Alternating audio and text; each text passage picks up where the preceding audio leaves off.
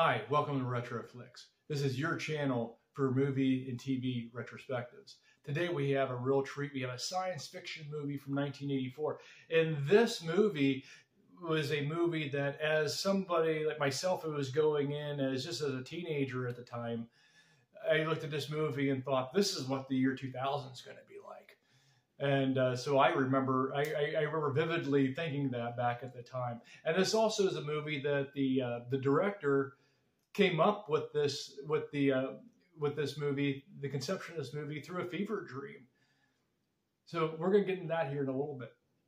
What is this movie? This movie is The Terminator, 1984. The Terminator basically is just a real quick synopsis here. Uh, there, there were three main characters. are Sarah Connor, who is pregnant with a with her son, who, and this is 1984. His, her son in 2029 will save mankind. But coming from the future is a cyborg who doesn't want that to happen because he wants the, the cyborgs are going to take, take over. And then there is a human who does want this to happen and wants mankind to be saved, a human soldier who comes to 1984. Both these come to 1984. The cyborg comes to 1984 to kill Sarah Connor so that the, so her son isn't born. And the human soldier comes in 1984 to sit, to protect her, so he is born and saves mankind in 2029. So that's a that that that's a that's a real quick nutshell of this movie this development, James Cameron, he did this. He, he was basically in Italy. He was on location of a movie and he got sick. And he decided um, that he was going to go to bed. And then, of course, he went to sleep and had a, one of those fever dreams, right? A real weird dream. And in the dream, he had the there was a skeletal figure, steel. It was steel, steel skeletal figure that uh, emerged with knives in its in its hands, crawling away from an explosion. And he woke up and he was like, "Wow, well, that would be an interesting movie, and particularly in the slasher horror genre." So this is actually where this started. So he went back to the states. He had a couple friends that were basically science fiction people, and this this conception of this movie then went from a slasher horror to more of a science fiction. So he was working on the draft, got it got it completed, and so he had to go find somewhere see if somebody can produce this. Found a uh, found a uh, a uh, woman uh, named Gale Hurd. She ended up saying, "Yeah, I'll produce it." And Cameron actually sold her the script for a dollar if she promised to let him direct it. Yeah, I mean, at the time, probably seemed like okay, if I can direct this, I'll sell for a dollar if I can get if I know I can direct it. Uh, I think down the line, though, in fact, he even came out down the line and said, "I regret doing that now," but that's what he did. Anyway, the, you know, it was being produced. They had to find distributor. The distributor they ended up finding was Orion because him and Gale Hurd they knew each other from um, working with a I think they were working with Orion uh, under Corman Films uh, in, the, in the past. Orion said, Yeah, we'll distribute it for sure, but you're going to have to find somebody else to back it. They ended up going to uh, Hemdale Film Corporation, guy named John Daly there, and they and they said, "Well, you know, pitch it to us, and we'll see what we can do as far as financing it." So, so uh, Cameron brought in. In fact, they were having a sit down they were going to have a sit down meeting. Cameron told an actor friend of his by name of Lance Henriksen, who he would subsequently give a role to in the Terminator. He, he, he had him dressed up in a black jacket, black leather jacket, gold teeth, and bruises and cuts and blood in his face, and had him go to the movie or into the meeting.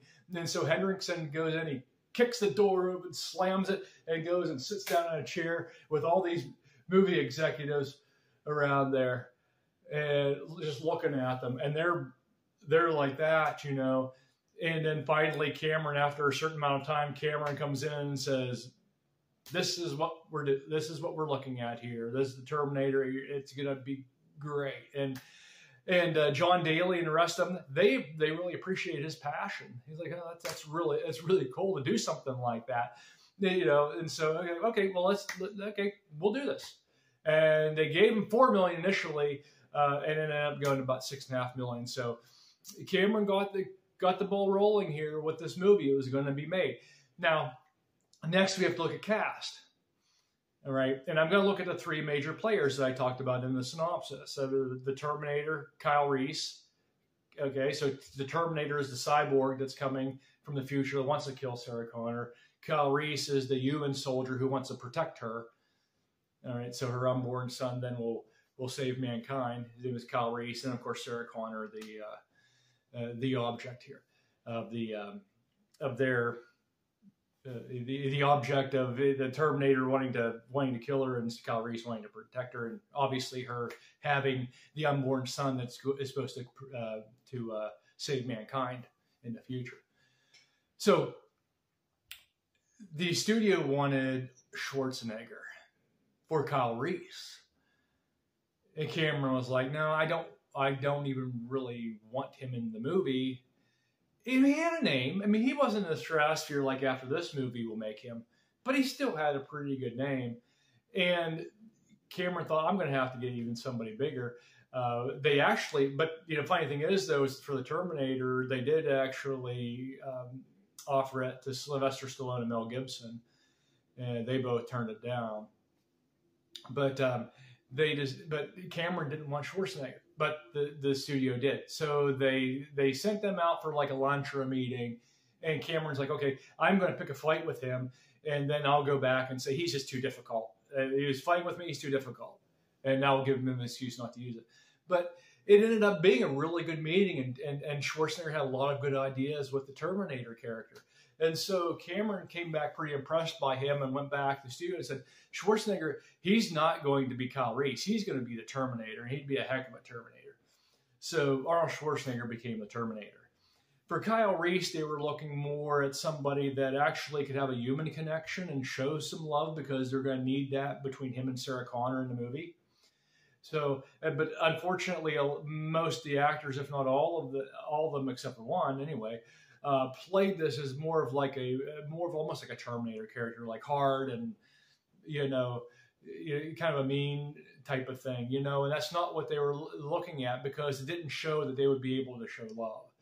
And Michael Biehn was the one that did that, you know, and he wasn't a real big guy, but could protect her, but also show human connection. And so he got the role. For Sarah Connor, that would go to Linda Hamilton. They were looking for somebody, uh, looking for a woman that, you know, if you're, if you're, if you're, uh, they were looking for a woman that would walk into a party and not every, not necessarily would everybody just swing their heads and look at her, but it would be somebody you'd want to get to know. And, and that's kind of what they were looking at with that character. Linda Hamilton definitely fit that bill. Uh, so she got that role. Uh, you know, and interestingly enough, when Schwarzenegger got the, going back to Schwarzenegger when he got the role, he didn't actually think the role was going to be all that movie was going to be all that great, but he figured, well, it's something different than what I've played, and it's going to be low budget. If, if it doesn't do well, nobody's going to really know. It's not going to hurt my career. So, just kind of interesting tidbit there.